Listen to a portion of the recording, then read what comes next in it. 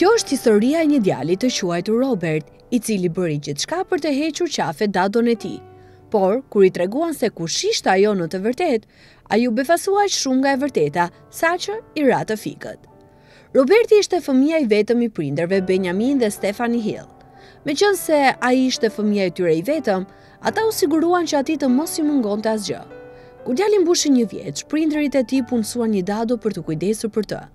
Gruaja Maria kujdesej për të sepse prindërit e tij zakonisht vinin në shtëpi natën vonë. Kaluan disa vite dhe djali mbushi pesë vjeç. Ai kurrë nuk e konsideroi të çuditshme që Maria qëndronte në shtëpinë e prindërve të tij. Ajo kujdesej gjithmonë për të dhe i bënte shoqëri. Sa herë që dilnin bashkë, njerëzit u thonin se ngjanin aq shumë. Për çudi që të dy kishin flokë bjondë dhe kishin njollën e njëjtë të zezë në ballë. Roberti u rrit duke kaluar pjesën më të madhe të kohës me dadon e tij. Ajo e ndihmonte në detyrat e shkollës dhe gatuante për të. Kur ishte 15 vjeç, ai mendoi pse gruaja po kujdesej ende për të. Ai nuk ishte më fëmijë dhe gjëja e fundit që i duhej ishte një dado. Një mbrëmje ai u tha prindërve të tij se do të shkonte të shihte një film me shokun e tij Henrin. Nëna e tij i tha Marisë se do të duhet të shkonte së bashku me të. Kjo e zemëroi atë dhe ai shprehu zemërim. Mami, pse po më trajtoni në këtë mënyrë ti dhe papi? Nuk jam më foshnjë. Tashmë jam 15 vjeç dhe mund të kujdesem vetë për veten. Nuk kam nevojë që dikush të kujdeset për mua sikur të jem fëmijë.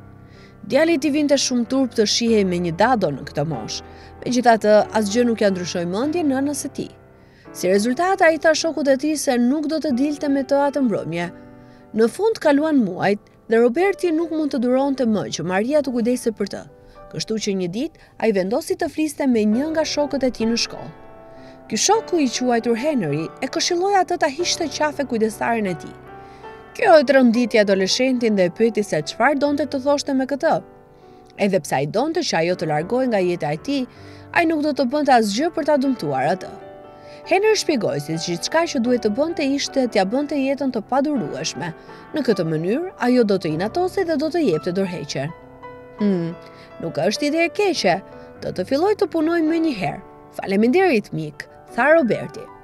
Sapo u kthye në shtëpi atë ditë, filloi të bënte një plan. Kur askush nuk po e shihte, ai shkoi në guzhinë dhe e shkatërroi vendin. Kur hyri në dhomën e Marias, mori disa nga fustanet e saj të preferuar dhe i spërkati në të gjithë dhomën e lavanderisë. Pastaj, derdi një shishe zbardhues mbi to. Kur gruaja hyri në dhomë nuk u besonte syve dhe i bërtiti me një ton sarkastik. Ai tha se e shiu ra aksidentalisht mbi rrobat e saj. Pastaj e shikoi me të keq dhe doli nga dhoma. Roberti bëri çmos për të provokuar dadon e tij, por veprimet e tij vetëm e dënuan atë vetë. Prindërit e tij nuk mund ta besonin se ai mund të bënte gjëra të tilla, të liga. Maria nuk u dëbua nga shtëpia dhe as nuk dha dorëheqjen. Ditët kalonin dhe adoleshentit i erdhi një ide tjetër. Këtë herë, ai kërkonte diçka që mund të përdorte kundër saj. Kur gruaja shkoi në dyqanin ushqimor një pasdite, ai shkoi në dhomën e saj. Pas disa minutash ai gjeti një zarf të vogël kafe. U befasua kur pa fjalët. Dhëmbi i parë i Robertit i shkruar në të. Nga kurioziteti ai hapi zarfin dhe gjeti dhëmbin dhe fotot e tij si foshnjë. Ai ishte plotësisht i tronditur. Çfarë bën ajo me dhëmbin tim dhe fotot e mia? A mund të jetë ajo një shtrigë? Pëshpëriti djali i habitur. Roberti e futi zarfin në xhep dhe priti derisa të ktheheshin prindërit e tij. Kur ata erdhën në shtëpi, ai u tregoi se çfarë gjeti në dhomën e dados së tij. Më pas, e akuzoi atë se ishte shtrigë. Për habinë e tij, veprimet e tij zemëruan më tej prindërit e tij. Ata e kritikuan atë sepse kishte kontrolluar dhomën e Marias pa lejen e saj. Në zemërim, babai i tij e sulmoi djalin. Kohët e fundit ke bërë shaka të tmerrshme me kujdestaren tënde. Tani, ti hyre në dhomën e saj pa lejen e saj. Kjo është e papranueshme. Do të ndëshkohesh për një muaj. Nuk do të mund të përdorësh internetin dhe të dalësh me shokët e tu gjatë kësaj periudhe. tha burri. Djali i ri nuk mund ta besonte verdiktin e babait të tij dhe doli si furtunë nga dhoma e ndenjes i zemëruar. Po atë mbrëmje, ai filloi të mendonte se sa e mirë ishte treguar Maria me të. Ajo u sigurua që ai të ishte gjithmonë i lumtur dhe rehat. Ai e dinte se ajo nuk e meritonte mënyrën se si ai e trajtoi atë dhe ishte shumë i zhgënjyer nga vetja dhe vendosi t'i kërkonte falje asaj. Roberti u ngrit nga shtrati i tij dhe zbriti në dhomën e saj. Sapo mbërriti para derës së saj, vuri re se ajo po qante fort dhe po fliste me dikë në telefon. Mendoj se djali im më urren dhe nuk di çfarë të bëj. Gjithë jetën e kam mbështetur dhe e kam dashur, por tani ai as nuk dëshiron të më shohë më dhe do që të largohem nga shtëpia. Më bëri ato gjëra të tmerrshme, jam e trishtuar sepse ai është djali im dhe unë e dua atë. Roberti u hutua pasi dëgjoi të gjitha fjalët e gruas. Megjithatë, disa gjëra filluan të kishin kuptim për të. Tani ai e kuptoi pse ata ngjanin me njëri-tjetrin. Djali vendosi të mos fliste me të atë natë. Përsëri të nesërmen në mëngjes prindërit e tij shkuan në punë herët, kështu që ai iu afrua saj, ndërsa ajo po bënte mëngjesin për të. Përshëndetje Maria. Thjesht desha të them më fal që të kam trajtuar aq keq. Të lutem më fal, tha djaloshi. Maria nuk mund ta besonte. Ajo e përqafoi duke buzëqeshur dhe i tha se gjithçka ishte në rregull. Roberti menjëherë hyri direkt në temë. Të dëgjova duke folur në telefon mbrëm, kështu që doja të të pyes diçka. A je nëna ime vërtet? Pyeti djali. Maria ishte krejtësisht e shtangur. Për të fshehur të vërtetën, ajo tha se nuk ishte në një telefonatë natën e kaluar, kështu që nuk e kishte idenë se për çfarë po fliste.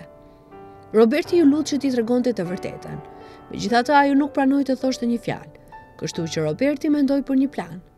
Ai paketoi disa rroba dhe shkroi një shënim të shkurtër, të cilin e la në tryezën e ngrënies. Shënimi i shkurtër thoshte. Unë e di të vërtetën, por dua që të gjithë ju ta pranoni atë. Nuk do të kthehem deri atëherë.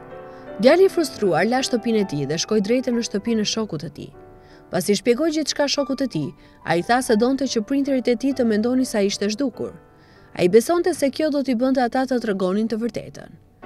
Ishte mbrëmje dhe Roberti nuk ishte në shtëpi. Prindërit e tij ishin të shqetësuar pasi telefoni i tij ishte i fikur.